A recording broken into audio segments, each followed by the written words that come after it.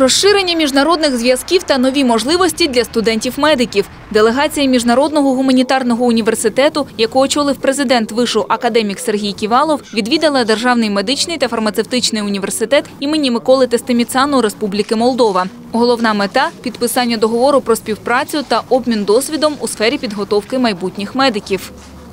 приняли правильное решение, то, что находимся сегодня здесь, в стенах этого славного э, университета, который э, готовит специалистов и в области фармации, стоматологии, два лечебных факультета. Это мощное высшее учебное заведение Молдовы.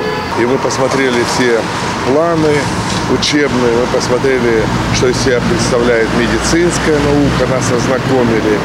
Мы посмотрели всю материальную базу. Я вам хочу сказать, она впечатляет. Она впечатляет, потому что э, этот вуз динамично развивается. И вот э, мы неоднократно уже встречались и с коллективом, и с профессором Чебаном, который возглавляет не так давно, три года, но за три года своего ректорства он много сделал для коллектива. Всегда Кишинев имел очень э, хорошие отношения с Одессой. Э, И учитывая, что мы э, Государственный университет медицины и фармации, сотрудничество будет на медицинском и фармацевтическом уровне.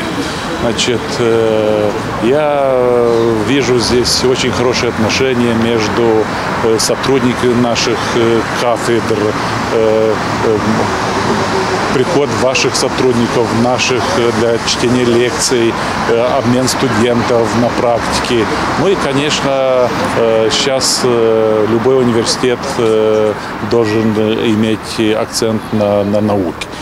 За 75 років своєї діяльності Державний медичний університет став не лише найпрестижнішим вищим навчальним закладом Молдови. Виш займає передові позиції за кордоном. Тут здобувають освіту студенти із США, Ізраїлю, Індії та інших країн світу. Клінічне навчання студентів відбувається у 95 університетських клініках. Університет отримав міжнародну акредитацію відповідно до стандартів Всесвітньої федерації медичної освіти. А програма стоматологія акредитована Каліфорнійською стоматологічною радою США.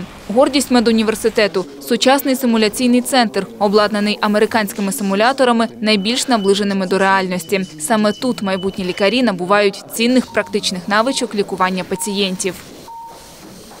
У нас на самом деле очень много симуляционных залов э, высокой реалистичности. Что это означает? Что они имитируют полностью обстановку конкретного зала э, из больницы. Да? Вот этот представляет себе реанимацию. Да?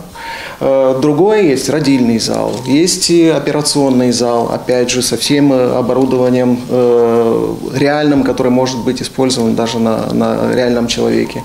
Э, Что очень важно, что все эти залы э, имеют э, возможность отснять все, что происходит в данном конкретном зале. И в дальнейшем может быть использовано, опять же, как материала дидактического, да, как воспитательного материала. Мы увидели э, современные залы, э, новых э, симуляционных манекенов, э, оборудования, аппаратов и так далее, которое э, позволит более улучшить качество подготовки э, специалистов, которые востребованы сегодня не только в наших странах, в Молдове, в Украине, но и за рубежом, в европейских странах. Я думаю, что такого рода подписанный меморандум о совместном сотрудничестве только взаимодополнит все наши усилия, стремления на пути подготовки качественного специалиста, Напередодні керівництво Державного медичного університету відвідало Міжнародний гуманітарний університет в Одесі. Забезпечення якісної освіти та підготовка висококваліфікованих фахівців – ось що об'єднує виші України та Молдови. Конечно, то, что я видел в, э, в гуманитарном университете, это очень серьезный университет с очень хорошей развитой базой. Есть позиции, которые лучше даже как у нас. У вас есть возможности, я видел ваши клиники, стоматологическую клинику, я видел поликлинику, которые э, намного лучше даже наших э, клиник, которые есть. Вашему университету есть очень серьезное будущее, и вы можете развиваться очень-очень серьезно. Поэтому я рад за ваш университет, что у вас есть такой президент, что Сергей Васильевич э, руководит э, гуманитарным университетом и что он открыл э, медицинский факультет и что он сориентировался на медицину, которая сейчас в период после пандемии и э, э, в этих условиях это очень важно. Наш э, медицинский институт Международного гуманитарного университета достиг определенного уровня, высокого уровня.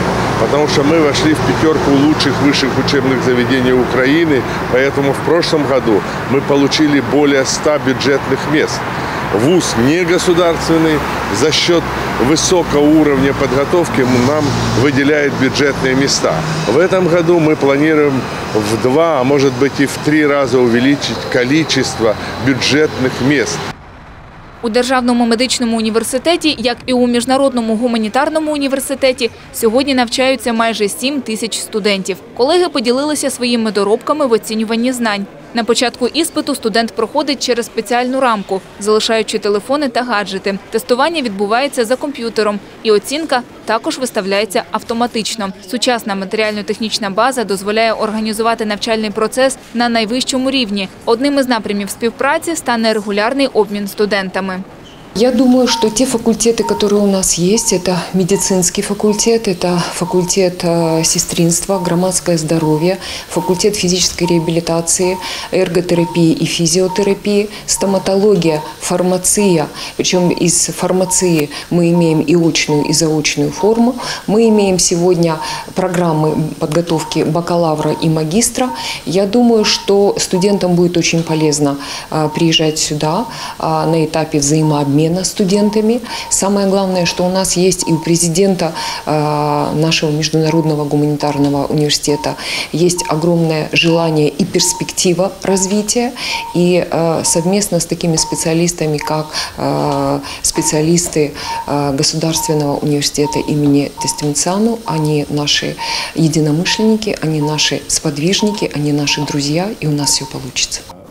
Обидва університети сьогодні виконують важливу соціальну місію. Багато викладачів міжнародного гуманітарного університету, які є практикуючими лікарями, наразі працюють у шпиталях міста Одеси. З перших днів війни колектив МГУ надає гуманітарну допомогу медикаментами та обладнанням шпиталю Державної прикордонної служби. Студенти старших курсів проводять заняття з населенням з надання першої медичної допомоги за умов війни. Водночас Державний медичний університет Молдови також задіяв свої гуртожитки, клінічні бази та ресурси для допомоги українцям, які змушені були покинути рідні домівки. В самое тяжелое время коллектив медицинского э, университета реально оказывает помощь и Украине в целом, и оказывает помощь и одесситам, и жителям Одесской области. Вы знаете, такое сотрудничество, оно, оно очень важно. Такое сотрудничество позволяет нам сказать, что мы сегодня не одни. Такое сотрудничество в области подготовки э, медиков позволяет нам сказать и быть уверенным, что у нас есть будущее, у нас есть перспектива, как мне представляется. Главное, чтобы был мир. Таким чином, об'єднання зусиль Міжнародного гуманітарного університету та Державного медичного та фармацевтичного університету дозволить здійснювати підготовку висококласних лікарів за європейськими стандартами та позитивно вплине на розвиток медичної галузі у двох сусідніх країнах.